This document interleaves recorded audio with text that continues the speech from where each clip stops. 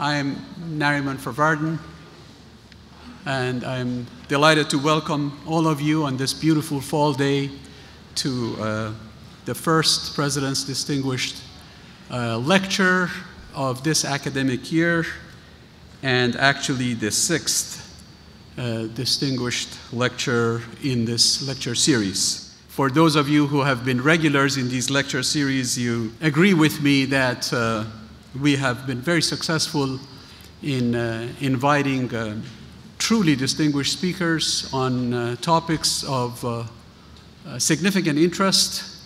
the focus of this lecture series is to invite experienced dignitaries in areas of major societal interest healthcare, national security, energy, education. And in particular, uh, learn about the interplay between these areas of significant uh, national interest uh, and the influence of uh, science and technology. After all, we are Stevens Institute of Technology. Uh, you may remember that our first speaker was uh, Mr. Norm Augustine, the former CEO of Lockheed Martin. We then had John Holdren, President Obama's uh, science and technology advisor. We then had um, uh, Professor John Deutch from MIT, former director of the CIA, who spoke, who gave this fascinating talk on uh, fracking technologies. We then had Craig Barrett, former CEO of Intel, and uh, our last lecture last semester was given by Dr. Harold Varmus, uh, Nobel laureate former director of the National Institutes of Health. But by the size of the audience, uh, uh, I hope you agree with me that the rock star of the group is our speaker today, Ms. Uh, Sharmin Mossavar Rahmani, who I would like to invite to the stage. Sharmin, are you somewhere back there? Yes, please come forward and.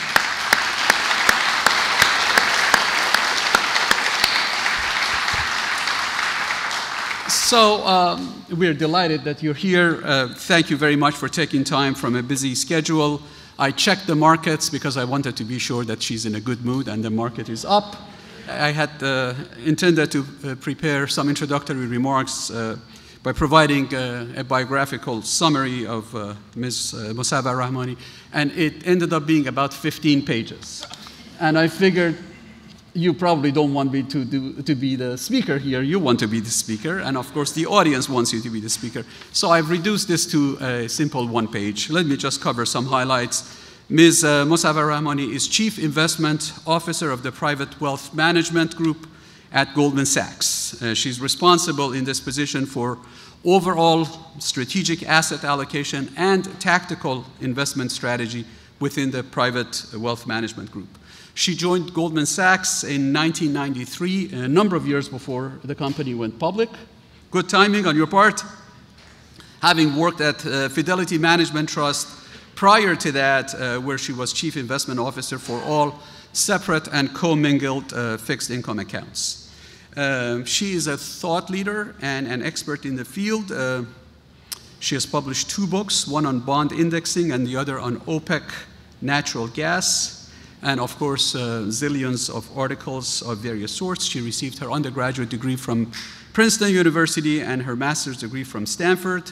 She is a member of the Board of Trustees and the Investment Committee of New York Presbyterian Hospital, the Board of Trustees and the Investment Committee of uh, Trinity School in New York City, and the National Advisory Board of the Mirage Foundation for the American Dream, and many, many other affiliations that I don't have time to spend uh, Sharmin and her husband Bijan are uh, incredible philanthropists. Uh, they have established the Mossavar Rahmani Center for Iran and Persian Gulf Studies at Princeton University, her alma mater, uh, the Center for Business and Government at Harvard University's Kennedy School, and the Mossavar Rahmani Gallery in the Metropolitan Museum of Art, dedicated to Persian art during the period uh, 1500 to 1924.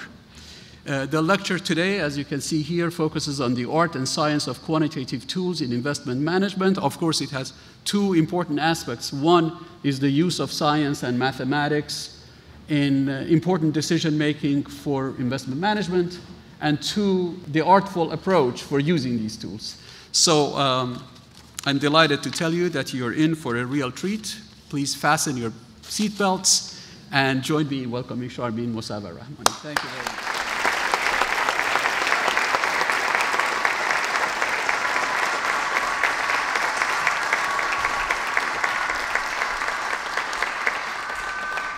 So I do have to say that coming here, I thought everything would be so specific, engineering, technology, everything correct to the nth degree, but we're getting off to the wrong start. My bio is very short, and I am not a rock star, I assure you. So that was very nice, that great introduction, but uh, uh, it was a, little bit of an exaggeration. But there's one advantage to having a difficult last name, like Mossavar Rahmani. Everybody just calls me by my first name, Sharmin, so that makes life very easy, actually. That's the only thing in common with any rock stars. So um, we debated uh, this title a lot. My colleague Farshid, who heads up our strategic asset allocation team, is here. And uh, did Nariman mention the, uh, uh that you're speaking here in a couple of...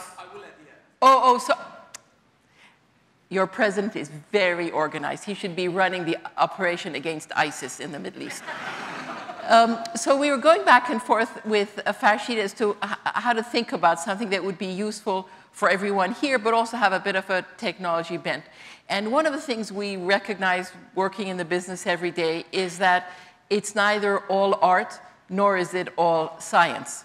And of course, if you speak to somebody with a very strong um, uh, quantitative background that they might say it's all science. The only example that we know of where it has been pure science and it has succeeded is really Renaissance, uh, Jim Simons' operation. In other cases where people are using quantitative tools, it worked for some time.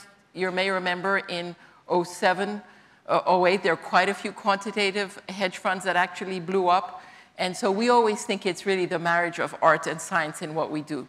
So uh, we went through to think about what are some of the general themes, and uh, we selected a couple of key examples of things we literally grapple with every day, and it's all very uh, current and relevant.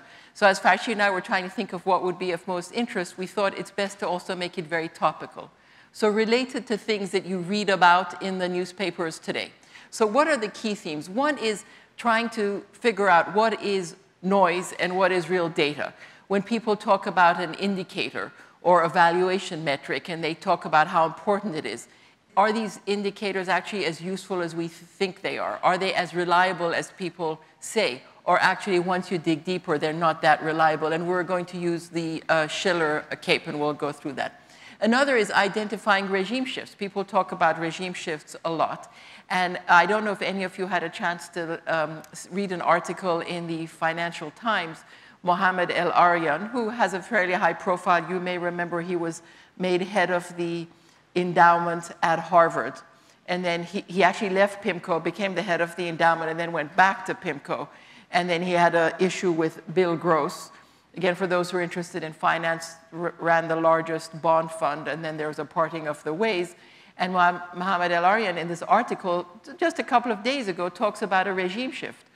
And he talks about how there's a big regime shift in equity market volatility. And what we saw before um, was particularly low as opposed to now that uh, uh, volatility will be higher.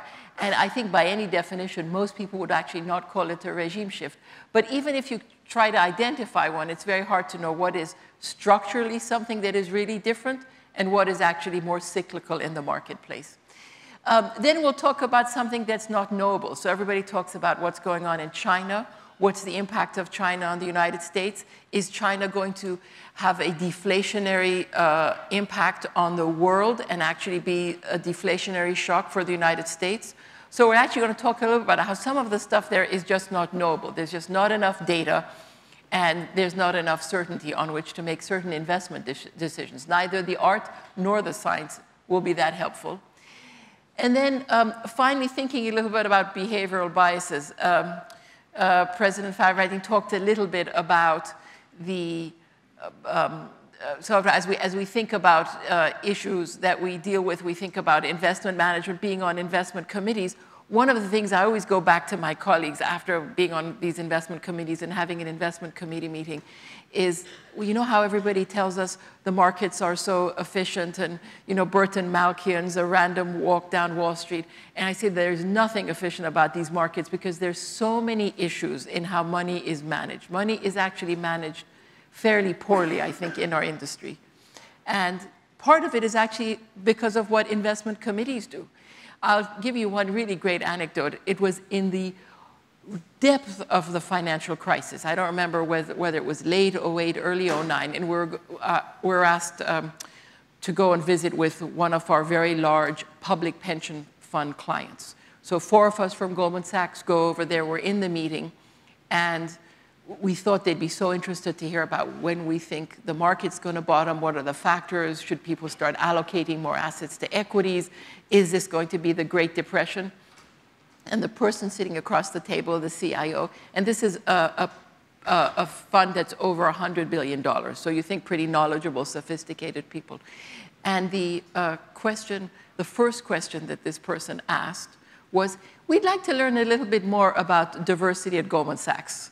And I was like, did I hear that right? That can't possibly be the question.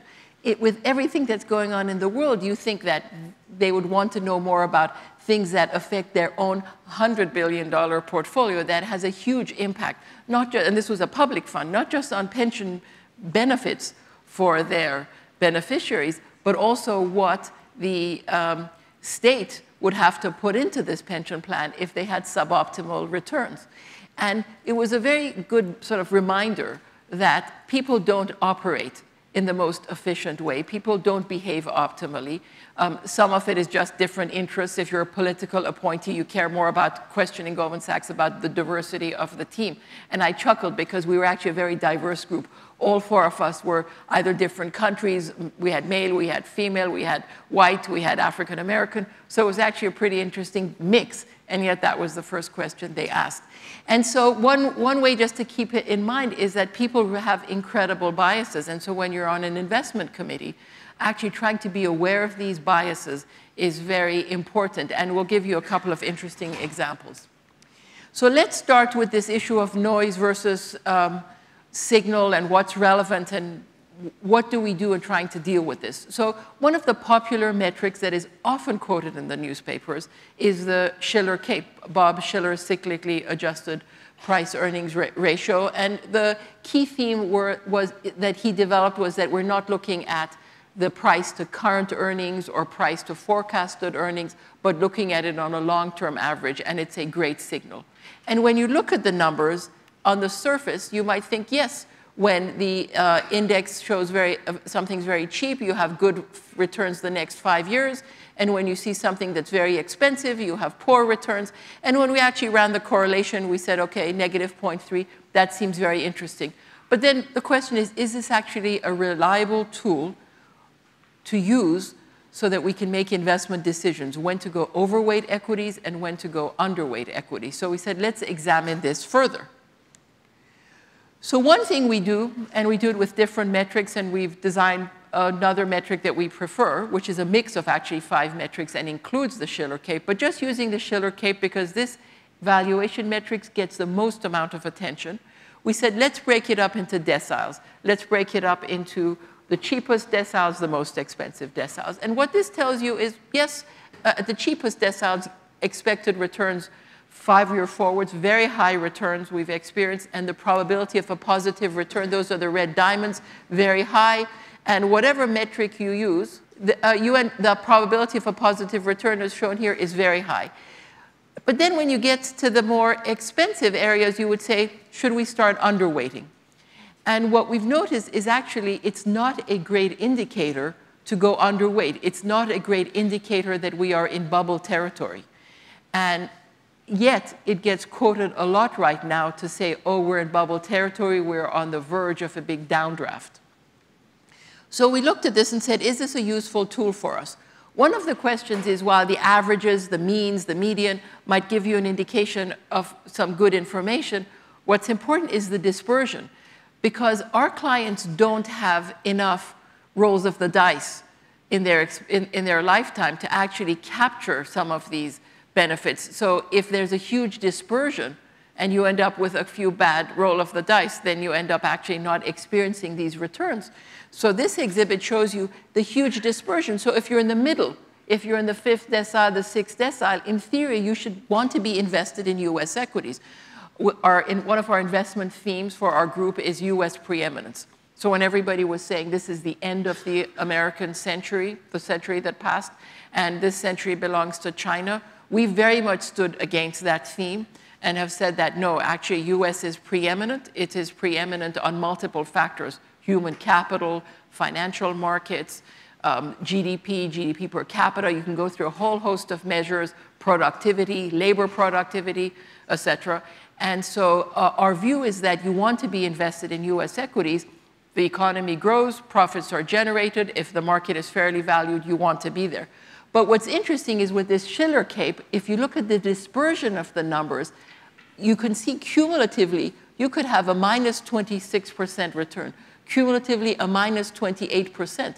And in fact, as the market got more expensive, your downside numbers for quite a few of those deciles is less. So Shiller CAPE is only a good signal if it's very reliable for the investment horizon of our clients. So if our clients come to us, and even if their investment horizon is 20 years and they stay with us for 20 years, it doesn't mean they're going to have enough draws to actually have this, uh, this experience that the average has. And so we have to be very sensitive. So what we thought we would test for is say, what about um, mean reversion? Is Shiller CAPE a good valuation metric that when things get very expensive, it will revert to the mean, and when things are very cheap, it will also revert to the mean as we saw in the very first graph. So when we just look at the graph and you look at the negative correlation, you would think it's mean reverting. And so our team, um, our strategic asset allocation team has actually tested for that. And what you see is that from the 1880s onwards till about early 1990s, it was a mean reverting signal. However, past that, since the early 1990s, it is no longer mean reverting. And you can see that by looking at how this ADF measure, which is a statistical measure of statistical significance for this mean reverting. But you can see it, how it the line goes above. The shaded area saying that it's no longer mean reverting. And so if you think about it, it's a long period. So if something is not mean reverting over this period that we're looking at, then it's not a useful tool to use because you make an investment based on thinking it's expensive or cheap, but it might not revert to the mean. And this was particularly noticeable when if you look at the uh, far right exhibit, in terms of how long you would be out of the equity markets after 1998. So if you use the Shiller CAPE as your very important valuation measure and you use it as a signal to get out of the market, you would actually be out of US equities till 2008, so towards the trough of the crisis, and you would have given up a return of 288%. So pretty significant. So this tells you that even though it's a good measure, it's not a completely reliable measure. So it's something we factor in, but it is not a reliable signal that we want to use. What about the concept of regime shift? So that's a hot topic with emerging markets. So when emerging markets became very popular as an investment asset class, and in fact, one of our former colleagues, Jim O'Neill, coined the term BRICS, Brazil, Russia, India, and China and talked about their big growth rate and everybody should be investing in these markets, there was a lot of excitement. And within our own group, within our tactical team, there were people who said, you know, there's a regime shift. We need to think about emerging markets differently. And fundamentally, what could actually explain that regime shift? It would be that basically uh, the emerging markets had realized that their inflationary policies were no good central banks had realized that pegging their currency to the dollar, so having the uh, uh, various currencies, and we've listed all the countries, Mexico, Thailand, Malaysia, Philippines, Indonesia, Korea, Taiwan, Russia, Brazil, Turkey, and finally Argentina, abandoning their currency peg, meaning their currency is not pegged to the dollar. And that's particularly relevant right now as everybody's watching to see what China does with the Chinese RMB. Are they going to keep that peg? Will they gradually devalue, or will there be a sudden big devaluation, which would be pretty, um, uh, a pretty significant shock to global financial markets? So this idea of um, removing a peg, the argument was okay, central banks are targeting inflation. They are very orthodox in terms of monetary policy. It's a regime shift. And that does matter in terms of how we actually look at emerging market equities. So, what this exhibit shows you is looking at emerging market equities using their valuation metrics and comparing it to the US. So, I think most of you would agree that if you could own a US equity versus a basket of these countries' equities, Turkey, Argentina, Philippines, Malaysia, if you could only make one investment and leave it there for 20 years, which would you choose? Where would you have the most confidence? You would choose the United States. So it seems inevitable that these emerging market countries, with their big, what we call structural fault lines, should trade at a discount to the US. But what should that discount be? So when everybody loved emerging markets, our colleagues in our group were saying we should only look at data from 2003 onwards.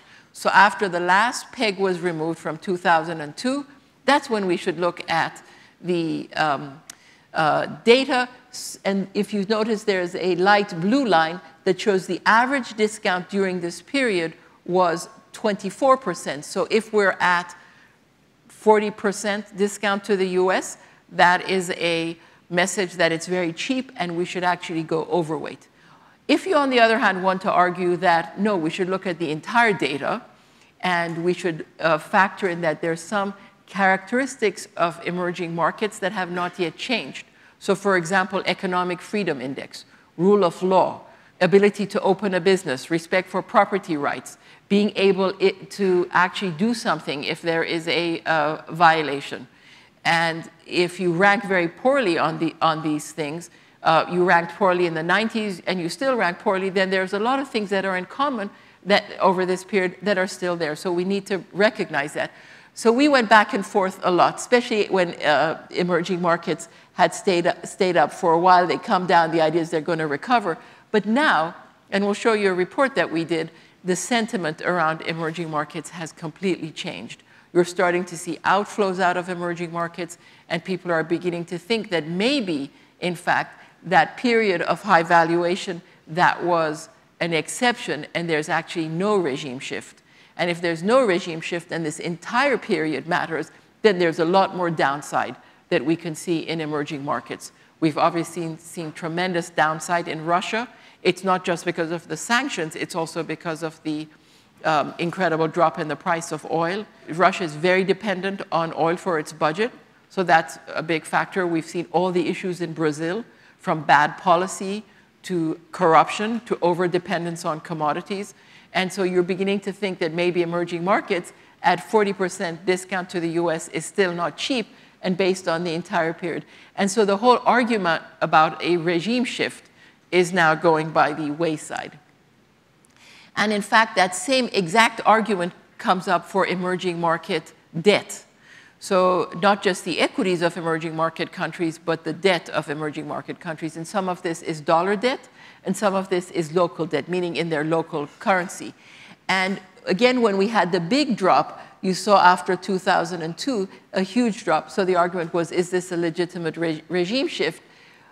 But now we're actually saying, was that a Goldilocks period?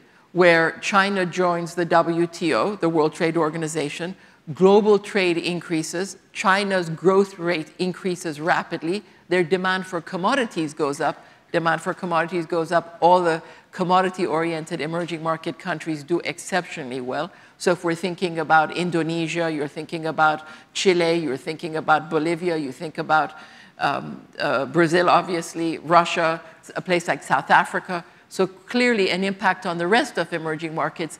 And so that's why you had what we call the Goldilocks period. And the key question is, as we go through the transition in China, where will emerging markets actually settle down? So the question of is there a regime shift or not, um, statistically we can try to measure it, but at the end of the day, again, the art comes in to try to figure out what is really going on and what is actually fundamentally different in these places. So I mentioned a report. We actually did a report in 2013. We said emerging markets as the tide goes out. Uh, does that ring a bell for anybody here?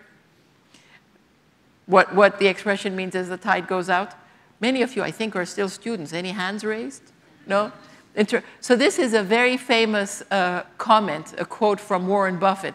And he has used this quite often in his annual reports. The first time he used it in an, in an, annual report was in 1992. And the expression is when the tide goes out, you see who's swimming naked.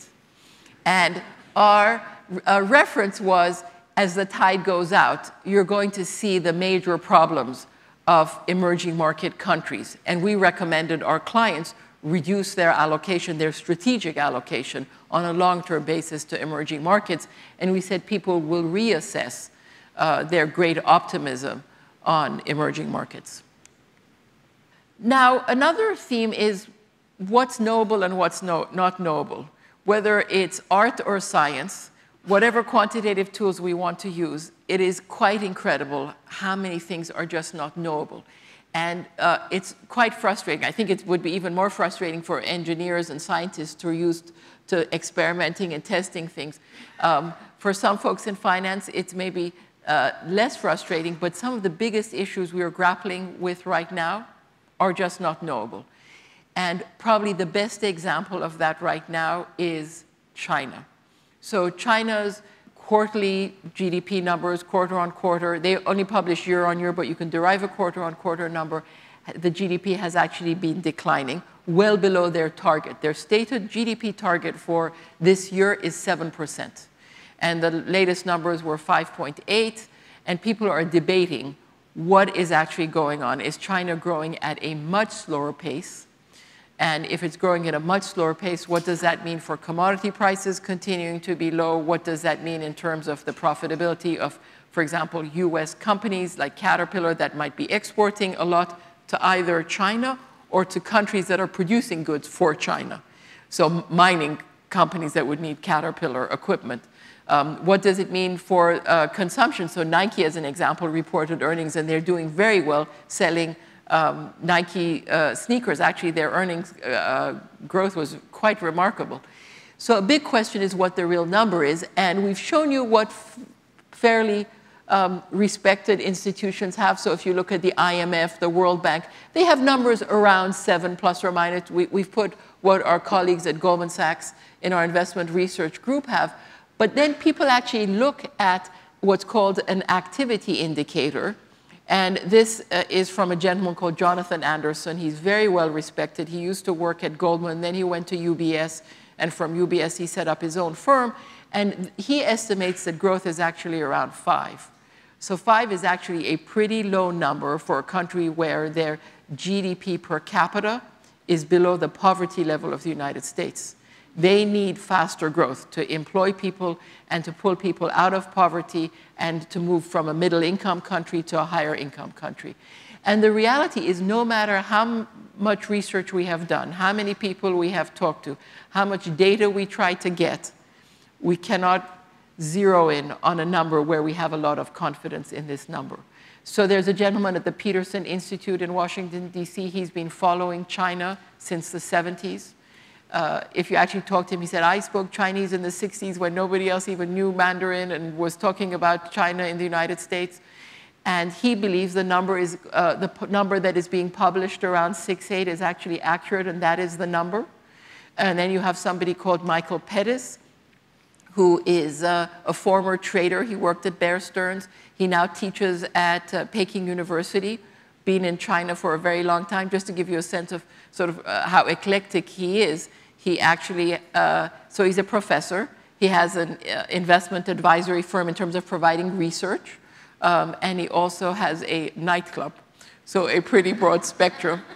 And his view is the number is more like 4%. So here you have somebody as thoughtful as Nick Lardy from the Peterson Institute. Here you have somebody um, like Jonathan Anderson, and there's somebody like a Michael Pettis with numbers anywhere from 4 to just under 7.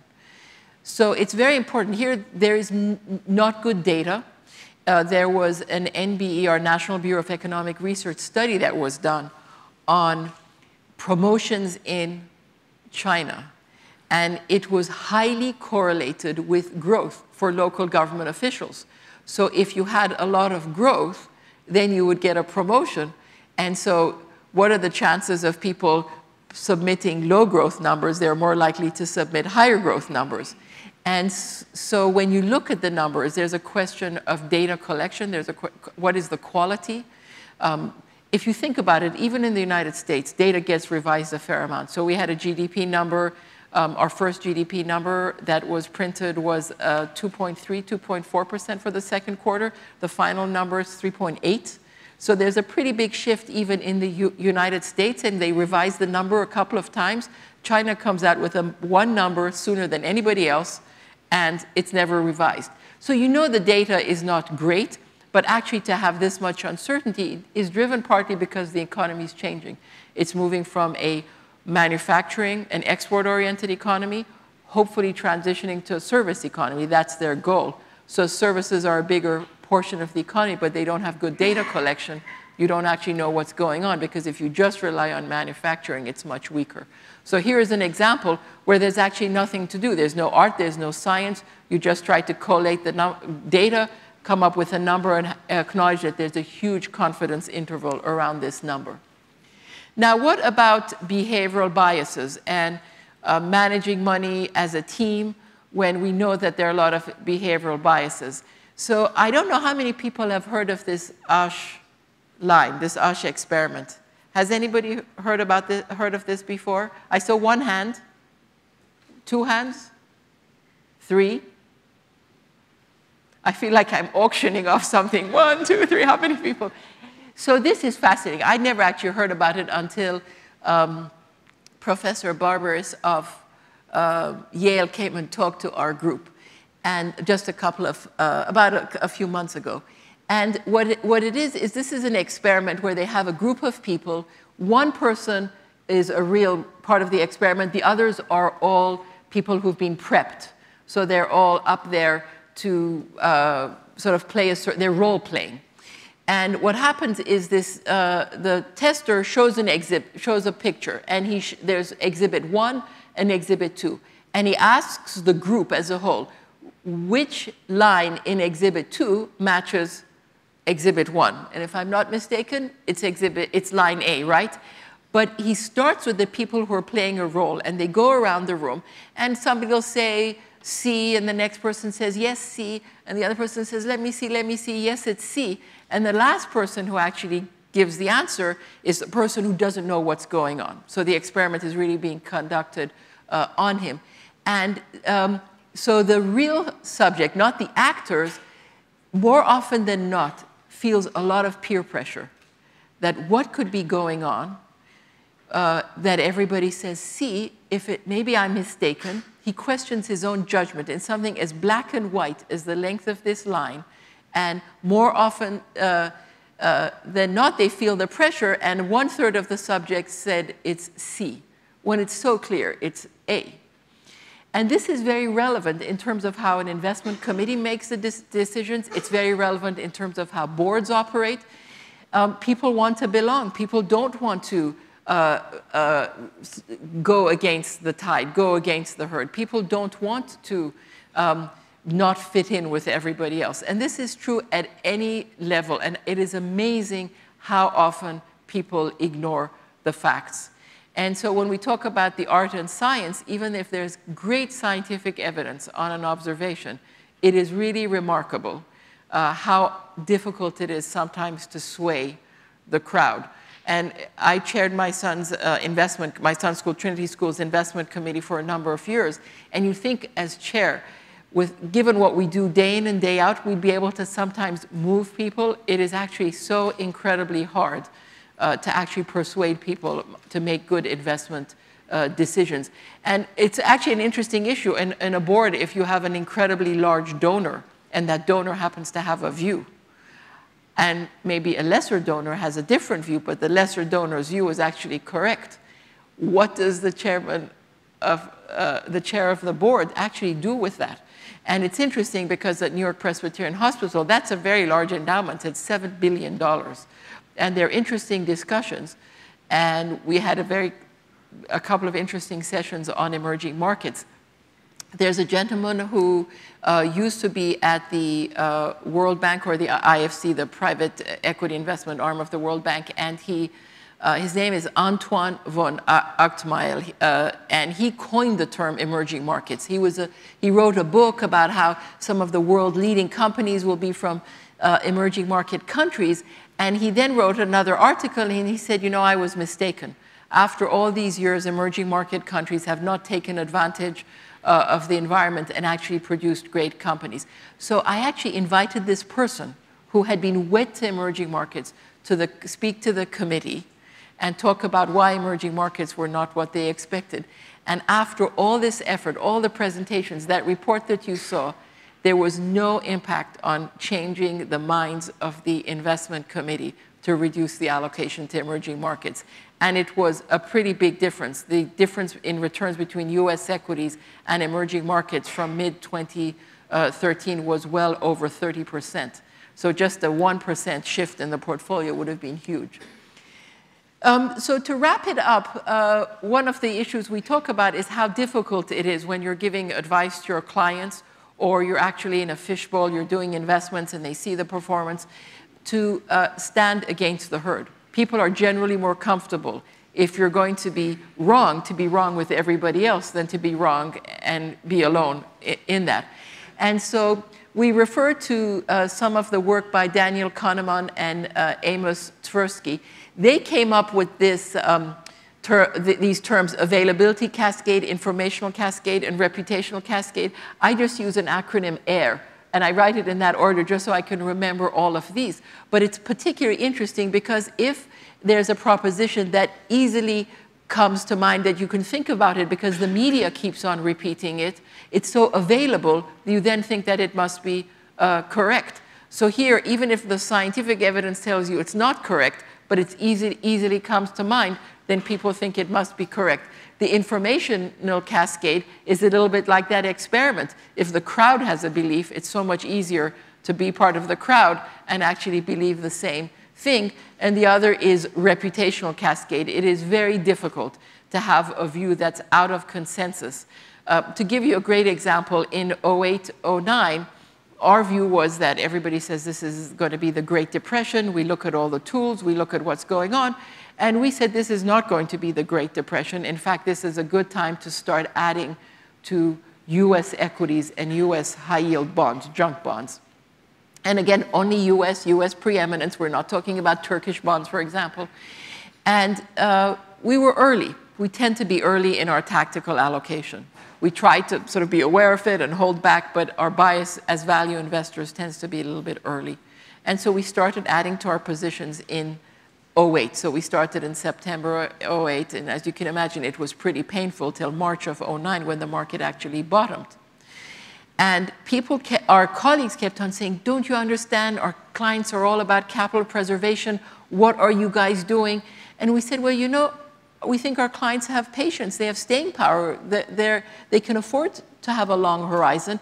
We could ride out this interim volatility if they have the right strategic asset allocation. That means they have enough fixed income assets in there to weather the storm. And we don't know if it's going to last one year or two years or three years. But at the end, we're going to come out of this and it's going to be a great investment. And we did some numbers with high yield. If high yield was as bad as the Great Depression, the annualized returns would be 15% for five years. If it was not as bad as the Great Depression and things recovered, the annualized returns were going to be around 18 or 19, so pretty good returns. Um, and one day, the head of our division came up to me and said, You know, Sharmin, if you want to change your mind and say you guys were wrong, we're behind you, we're supporting you. And I thought, okay, that's perfect. That's, that's, the, that's the signal of the bottom, where people who should say, We understand you're standing against the herd, you're different from the consensus, we know you need the support, they actually come and say, Are you sure you're right? What if you're wrong? It's going to be so bad, this, that, the other. And so the, uh, in the biases that we have and the biases to fit in with the herd generally tend uh, to lead to people not making good investment decisions. And again, this is really biases where uh, quantitative tools can help you with the discipline, but at the end, end of the day, there's a bit of an art element to making sure you're aware of these biases and put in some great steps uh, and measures in place so that you can actually operate more effectively. There are some other great examples. We debated whether we should use, um, Farshid and I, an exhibit on active versus passive management. uh, as many of you know, it's a big debate between active managers and should you give all your funds to Vanguard or just use passive ETFs, cheap, tax efficient. Is that a better way to go than actually give your money to an active manager? And one of the things we always tell our clients is that if you want to be with active managers, you have to have a very long horizon. So take active managers, top quartile active managers. So the best, you'd be thrilled with these over 10 years. So we took these active managers and looked at what percent had underperformed one year. So at least 100, 100%. They've all underperformed one year. 100% have underperformed for two years. Then you look at three years, 99%. Then you look at four years, 96% of the best managers in large cap equities have underperformed, 93% have underperformed four years in a row. The interesting thing is when people hire managers, they say, oh, we're going to evaluate you over the next three to five years. So if you have hired a manager, and again, you drew a black marble, and it happens to be the first four years, and you fire them, that means you've actually probably left the money on the table because that's the one time when they're actually going to start to recover. And it's amazing, no matter how much we use these exhibits with, with people and encourage them to only work with active managers if they have patience and can withstand four years of underperformance. The minute they're starting to underperform after year three, after year four, they start to think that they should fire that manager, they should terminate that manager. Um, and again, it's terminating managers at the worst time. But the reality is nobody has that much staying power for pain. And it's particularly true with investment committees who want to be active and want to make, make a change. But that's another example where every day we see this, and it is very hard to actually overcome uh, this bias. We tell clients, what is the probability of finding that very small percentage of active managers that do not uh, underperform four years in a row? So as it is, we're only looking at 25%, and then we're looking for 7% of that 25%. The reality is nobody's going to find those managers consistently. But it's still time and time again an issue that comes up. So that pretty much wraps up the major themes. And I think uh, President Farvardin said we could have a Q&A session. Thank you.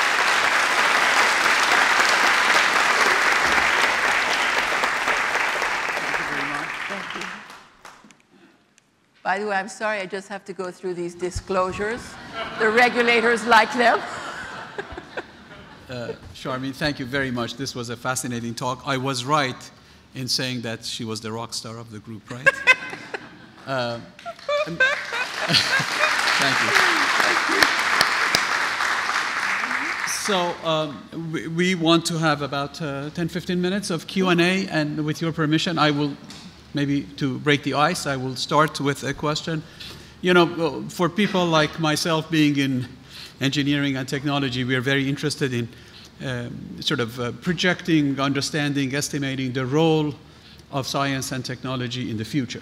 and a lot of people talk about this century as the century of artificial intelligence and how artificial intelligence is going to change our lives and and allow us to do incredible new things uh, and, of course, present new problems uh, like uh, technology does all the time. There's a serious discussion these days about driverless car technologies, for example. And of course, you need an incredible artificial intelligence engine to allow the vehicle to drive and carry the passengers safely. Do you see any role for AI in um, investment management? Is there any discussion at Goldman Sachs along these lines? There's, there's no doubt that the, there is more and more that is done with technology. The, the, you could see, obviously, the high frequency trading activities that go on. What's interesting is the uh, uh, fascination with using um, artificial intelligence or pattern recognition, chaos theory, uh, ebbs and flows in what, it, what can be used for um, uh, managing money in the investment management. I remember actually when I was at Fidelity, there was a portfolio manager who had, for a brief period of time, a terrific track record. And everybody was like, what is he doing? Is he an incredible equity analyst? And it was, and then he sort of talked to everybody. He said, it's all based on chaos theory. And I'm looking at this, and he went through all the explanations, and it worked for a while. I don't even remember if it worked for two years or three years, and then it was a disaster. And we do discuss this. For example, people like to look, uh, if you th think about artificial intelligence sort of capturing patterns, if you think about people who focus on technicals, um, in some ways that's trying to figure out a price pattern and say, is that price pattern telling you something? And it, what's very interesting is the person in our team who heads up our tactical asset allocation group loves looking at market technicals. And there's Farshid, who whenever uh, our colleague Brett refers to technicals, he rolls his eyes. It's like, what is he talking about in terms of market technicals? On the other hand, it's actually been a tool that has been used a long time. It is a tool that lots of macro hedge fund managers use. There's one of the best uh, macro hedge fund managers, uh, someone called Paul Tudor Jones, who does Robin Hood, very philanthropic, um, is a big user of uh, technical charts, which something like artificial intelligence in terms of recognizing those patterns across multiple currencies, multiple places, would be huge value add. Um, but you know, these things ebb and flow. Sometimes uh, momentum trading from CTAs has been terrific, and sometimes it hasn't worked at all. In fact, in markets like this that we've seen that are pretty choppy, uh, they have done particularly poorly. Uh, when there's a great momentum in the market, up or down, they do exceptionally well. And so I think maybe because of the behavioral biases of people, maybe because there are all these other factors driving it, maybe because data series aren't complete, maybe because data changes. So we look at what the equity market did and we think, was it related to a GDP number? But the GDP series that we're looking at has been revised multiple times over the years as um, basically data changes and more things are included in the GDP. They go back and revise past numbers. And so it's very hard to actually know um, how effective they will be, but everybody's looking at this. And when we did our tour, there was a comment about people sort of, uh, a reasonable number moving uh, and finding jobs at Goldman Sachs. Clearly, the uh, amount of investments we make in technology, uh, whether it's cybersecurity, whether it's on our trading floors, whether it's for investment strategies, has gone up significantly. Thank you. Uh, I'd like to open the floor. Uh, yes, Frank? This is on point, I think. Uh, Pippa Malmgren is a, a, great economist, has written the book Signals. She's also written a book on geopolitics and risks. I'd like to quote from one section and ask your opinion. Geopolitics, however we choose to define it, and there are many ways to define it, is hard to quantify. Fund managers by nature often like to reduce reality to a number. In an era when algorithms govern investing and drive governance itself, it is easy to dismiss non-quantifiable risks, but it is dangerous to do so. So as Daniel Yankelovich said in 1972, the father of modern polling, the first step is to measure what can be easily measured. This is okay as far as it goes. The second step is to disregard that which cannot be measured, or give it an arbitrary quantitative value. This is artificial and misleading. The third step is to presume that what cannot be measured really is not very important. This is blindness. The fourth step is to say that what cannot be measured does not really exist, and this is suicide. How do you deal with non-quantifiable risks at Goldman Sachs?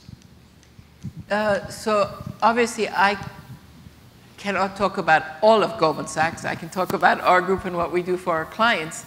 Uh, but it's definitely a great point that there's some things that are not knowable, hence this exhibit. We just don't know um, but we can't dismiss it. So that point about just because you don't, can't measure it, you shouldn't be dismissing it is a very good point because any shock to China will, be that it will, will permeate the rest of the world.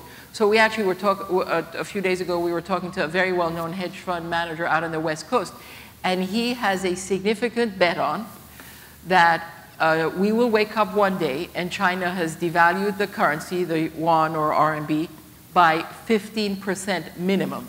And that is going to be a huge uh, downdraft for US equities. And that's the bet he's put on.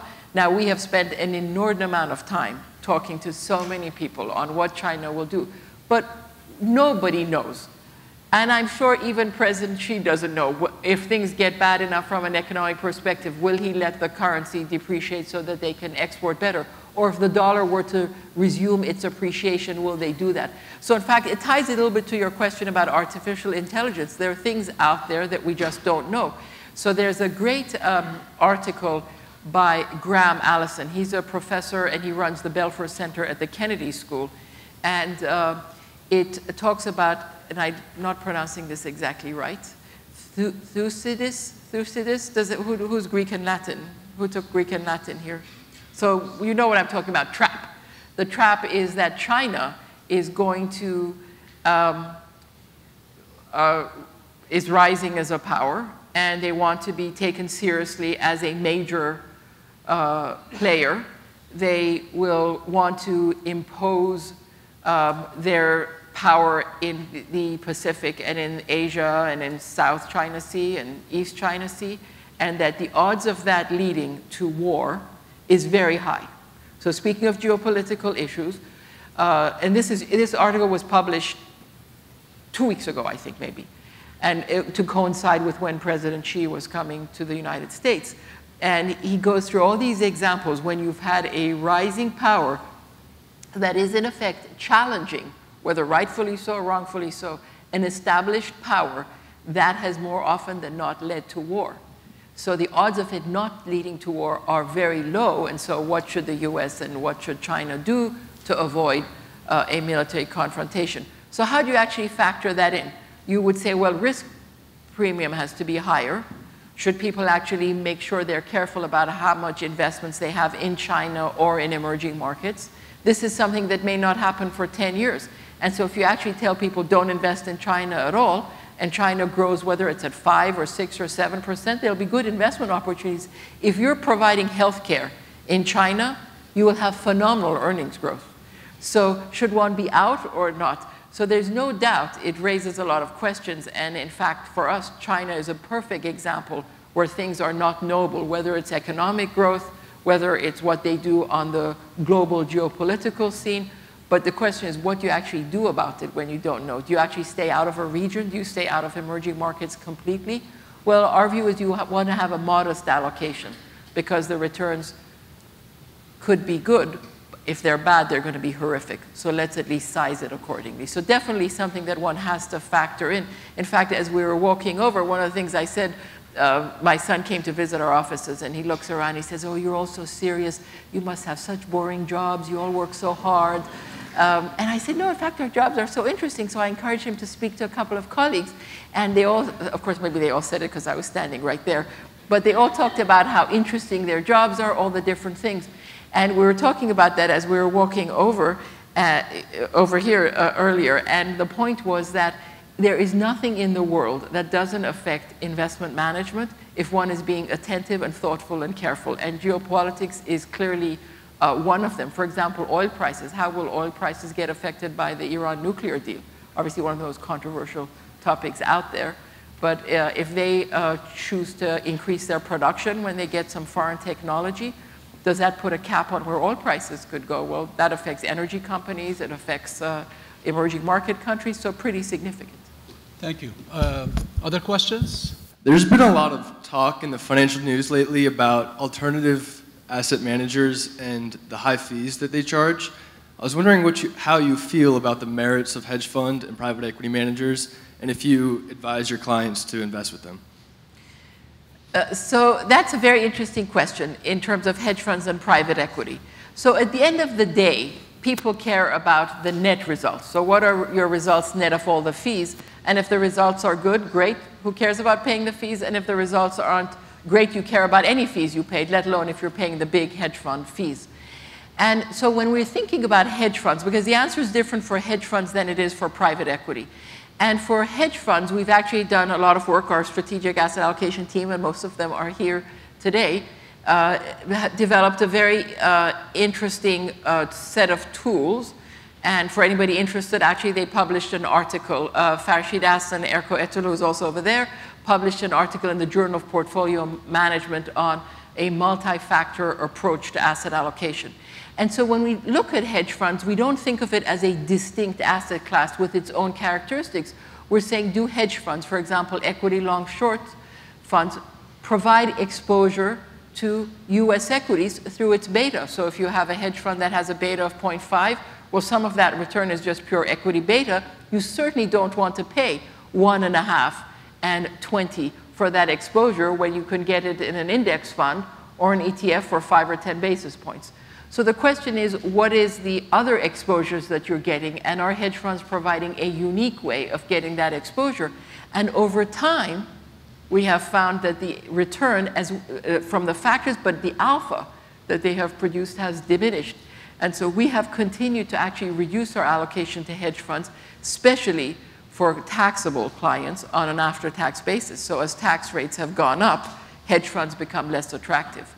Private equity, if you're with the good managers, it's well worth the higher fees. So the question is, can you actually ex ante, in advance, identify the good private equity managers where you will be paying high fees, so whether it's one and a half and 20 or two and 20, one and 20, you're paying a, a, a, certainly a significant fee.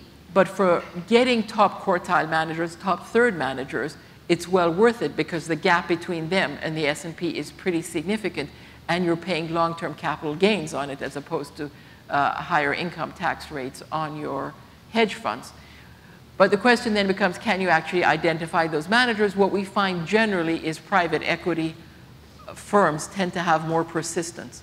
And if you step back again, you can do the science of it and look at the numbers and say, okay, we see some persistence. But if you're always looking to see what's the rationale for that, is there a good reason why this persistence exists?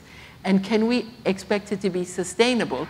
what you see is that the big firms are among the ones, not in venture capital, but in regular private equity buyouts, have a lot of persistence because one is they do attract some of the best talent, but two, because of their size, they get incredible service and coverage from the investment banking community.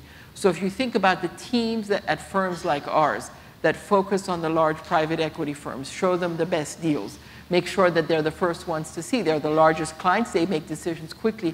There could be a good reason why um, this persistent can last. And uh, for example, because of their size, they could easily arrange a bridge loan. So they can be quick to do a deal. So if a company wants to strategically divest of one of their assets, one of the large private equity firms would be the most likely buyer. A mid-sized firm may not have that capacity. So actually, we see more persistence there, and it makes a lot more sense. So we allocate more to private equity than we do to hedge funds. And we tell our clients, don't think just because they're called hedge funds, they're going to have great returns. Our expected return for hedge funds um, over the last several years and going forward has been about 5% pre-tax. So for a taxable client, New York City resident, New Jersey resident, it's actually not so attractive. Thank you very much. Uh, I would like to ask your view on a dichotomy of zero-sum versus non-zero-sum activities of the financial industry. By zero-sum, I mean taking actions that benefits your clients at the expense of the counterparty other side. You know, betting on the direction, you win, you deliver a great return, but someone else should leave, and there would be no surplus at the social level versus non-zero-sum activities like financial innovation, trading of risk, you know, matching the risk preferences with the allocation, etc., which creates a lot of social welfare. I'm asking on behalf of my students who say, I want to devote my life to something that I think creates, you know, extra value. I want to be like someone who works on cancer treatments and not be part of a game that benefits me, but not society at the general.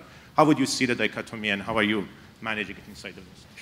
So the first response to that question is probably not what you're expecting, but um, one of the things we're all getting trained on is how to deal with millennials. And uh, because it is the millennials who say, how is what I'm going to do, do do something good for society? How is it improving social welfare? And they're focusing on issues like this. And unless we provide that kind of an environment for them, um, it's very hard to keep them. That's at least the message that we get, that millennials are looking for very different things than when we started to work. So I remember when I graduated uh, from uh, Stanford, I was desperate for a job. I could not find a job anywhere. And my husband had moved to Boston. I stayed out in California. Um, we were both in a PhD program. He didn't want to stay out there. He wanted to move back east. So I stayed out there. I said, at least I'll get a master's. Come back when I'm graduating. It's 1981, Great Recession. You remember Volcker tightening interest rates. You could uh, hardly find a job. And I was so grateful. I'd get to any job they gave me, I would take. Maybe not dishwasher, but aside from that, any job I would get, I was thrilled. And I'd work such long hours. I would be happy to work weekends. And nowadays, um, we get some interesting feedback. I shouldn't say this in front of my own colleagues so they don't get inspired, but we had a young analyst in our group uh, decided that he wanted to go and work in intelligence after a few years in our group. Very, very bright young man. And uh, when he left, he, he, we know we like to ask people, what do you think we could do better? Why are you leaving? What are the reasons, etc. And his was a big career shift. He actually decided he wasn't going to work for 18 months after he left us. Um, but one of his feedback was that I really don't like having to work around the holidays. This, we do an outlook every year, and it's intense time in the month of December so that it's ready for our clients. They come back from their holidays. We want them to have our re report, which is a pretty significant report, ready at their desk the first Monday they're back after New Year's. And it was so interesting to us that he was complaining so much about the work. So is, can I say that finance is necessarily the biggest creator of social welfare? For what your students, let's assume they're all millennials, are looking for? Well, for example, New York Presbyterian Hospital.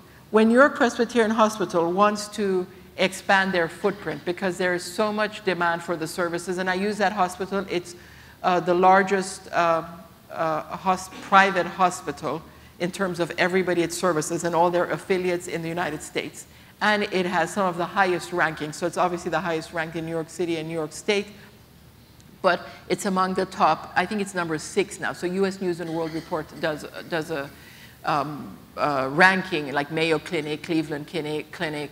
Um, you could go through all of those. MD Anderson in Texas, and so that hospital has another big building project. Uh, this is public information. David Koch of Koch Industries has given $100 million to start the building, and you could see it on York Avenue. Well, to actually finance this project, they need to issue bonds. Somebody has to get money from the lender to the borrower. And so our job is there as the intermediary. And now I'm talking about investment banking, I'm talking about the securities division, not necessarily the investment management part yet, where they have to figure out how to structure the deal that it works for the hospital so that the hospital can save lives they spend around $100 million a year serving the indigent. And obviously, I know that on the board. That's why I'm using these numbers and that example. But it's so near and dear. Health matters to all of us. There's nothing more important than the health of our kids and then ourselves. The millennials won't understand how parents feel about that, but that's okay. When you have your own kids, you'll know. Um, so if you think about it, they need that hospital. They serve people in the emergency room, state-of-the-art research, the amount of work that is done. You talk about artificial intelligence, the amount of work that is done to, for example, for cancer cures, et cetera. The surgeries they do, they did a surgery on this kid that every other hospital in the country, including Stanford Medical uh, School, refused to do. This doctor did the surgery. He was in surgery 21 hours. It's unbelievable. So this is what they do. This, this little girl had cancer all over her body, cancer tumors all over her uh, intestines. And um, they do this, but they need the money. So is that social welfare if there is an investment banker involved in structuring the deal for them that works for them? They have to do something that bond buyers are willing to invest in. And then you need money managers who actually can decide which bond they should buy at what price. So when people ask about the social welfare, if you believe that getting money from uh, borrowers, uh, lenders to borrowers, from people who have money to investors who want equity-like returns is actually a good thing, then you need the financial intermediary. And so my response to that would be that great GDP growth, great per capita GDP per capita growth is highly correlated to actually functioning uh, financial markets. That's why if you think about China, they're trying to liberalize their financial markets because they know that will be a huge boost to productivity and better run state-owned enterprises. I want to take off from your earlier comment on passive versus active investment, particularly for uh, groups that don't have huge amounts of money. And as you were talking, it brought to mind the founder of Vanguard, Jack Bogle.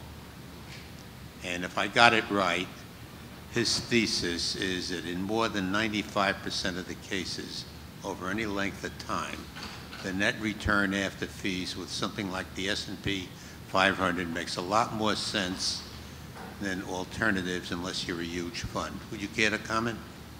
So is the question on active versus passive or use of alternatives? No, passive like uh, Vanguard S&P 500. Yes. For funds that aren't huge. You handle huge things, I think. Um, so, so, actually, um, I'd answer the question, say some passive management is good for all funds, large and small. So, for example, at New York Presbyterian Hospital, we have an anchor with some passive funds, passive exposure. Um, at uh, my son's school, uh, Trinity, that endowment is around um, 80 million. We have some passive exposure. And so we think that having some passive exposure is a good thing. And the reason is we, from our experience over the years, can see that most people do not have the patience for living through an underperformance of an active manager. We hired at Goldman on our external manager platform a phenomenal external manager, uh, Bob Levy from Harris Associates, based out of Chicago. Very thoughtful gentleman. Um, he was in his 60s then we had him speak to our uh, colleagues about his investment philosophy, how long one needed to stay with him. And we said, how long do we need to stay with you to actually get your alpha? Because historically, his alpha um, was 5% above the S&P, and that's pretty significant over a 20, 30 year period. And he said um, that to stay, to really capture my alpha through the various market cycles, you need to be with me for about seven years. And for those of you who've ever hired active managers, you know you ask them the question, they all say three to five. And he, this was the first time I'd ever heard an active manager say actually seven years. It was really remarkable. Lo and behold, year one, he underperforms. Year two, he underperforms. Year three, he underperforms. Year four, year five, year six, year seven, he outperformed by something like 30%. It was unbelievable. And the question is how many of our clients who invested with him in year one, year two, year three actually stayed to capture the seventh year? And the reality is a lot of people abandon the strategy, no matter what we would say, and say, he told us it's a seven year, at least stay that long. And people say, no, the model's broken, the valuation metrics aren't any good, he's old style, it doesn't work, he's not with technology, he doesn't understand this, he doesn't understand that. And so our view is always have an anchor on the passive side, so at least you're not just hiring and firing managers and paying these fees and generally paying higher taxes um, uh, because there'll be some turnover in, in money managers than in a passive fund. At least have some anchor. And so generally, we recommend, even for the largest clients, having some passive exposure. And I think for um, uh, smaller portfolios, we think having the majority of the assets. By small, I mean sort of your average investor they should put uh, all their money in passive funds because how do they know what the active manager is? And if you're with certain retail brokers, they're going to charge such a huge fee for putting you with active managers. It's just not worth it. Do you see the Fed continuing to, de to delay a rate hike as an indication that our economy is unable to handle rates above zero? And if so, what does this mean for the dollar and the U.S. stock market in the long term? Uh, so excellent question. Wh why, why were you reading it off your telephone? Wrote it down so I wouldn't mess up. Oh, that's so cute. I was wondering if somebody sent that, don't forget to ask this question or something. Um, so in terms of the Fed, it's very interesting. We did a client call today, uh, this morning, and we had our chief economist, Jan Hatzius, uh, he's the Goldman Sachs chief economist, um, on the call. And Jan has won many awards as the best US economic forecaster. Incredible. And he's so thoughtful. Uh, and he was one of the early ones who his initial tightening, eh, Fed, first Fed, Fed rate hike was 2016. So he actually years ago, during, right after the financial crisis for a couple of years, had 2016 as his first rate hike. And then numbers started improving and he moved it forward to sometime in 2015. And he's been at, uh, his expectation was December. So on this client call we had today, we asked him, are you still uh, Fed funds hiked uh, after their December meeting? And he said, yes, but because of the last non-farm payroll number and the fact that we've had financial conditions tighten, which means equity markets down, uh, credit spreads, the cost of borrowing money going up, volatility higher, the dollar higher, which is the equivalent of actually the Fed in effect raising funds. So uh, the 100 basis points of 100, 150 basis points of financial conditions tightening is equivalent, based on their measures, to 75 basis points of Fed tightening. He thinks a lot of that work has been done. So it's a very close call whether we actually get a hike in December. So his expectation is just over 50%, but he thinks it, if you don't see good data and continue to see a weak non-farm payroll number or weak inflation, it'll actually get pushed back to 2016. Uh, Great. Thank you again. Thank you, uh, the audience. Appreciate it.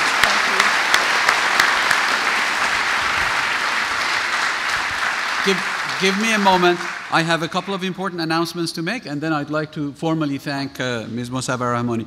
The next, we're going to switch gear from finance and uh, uh, science and uh, art uh, playing a role in um, investment management to cybersecurity. Our next uh, speaker in the President's Distinguished Lecture Series will be General Michael Hayden, the former director of the CIA and also the former director of another three-letter agency.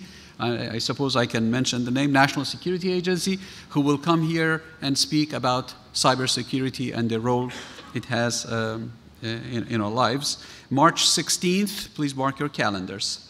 Uh, furthermore, I thought I should make an announcement um, apropos the presentation today that on October 29th, 30th, and 31st, Stevens will host the sixth annual conference on high frequency finance and data analytics here on campus.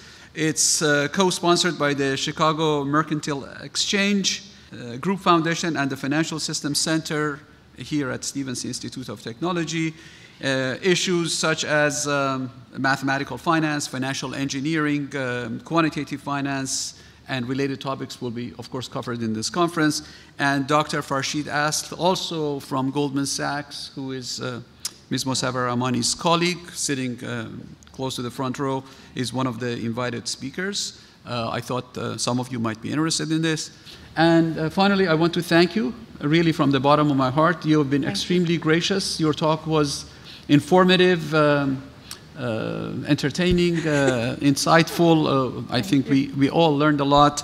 Uh, I appreciate uh, your willingness to take time from a very busy schedule on a, uh, on a good market day to come join us. On behalf of my colleagues, the students, faculty, staff at Stevens, I have a little token of appreciation. If you could come you. forward.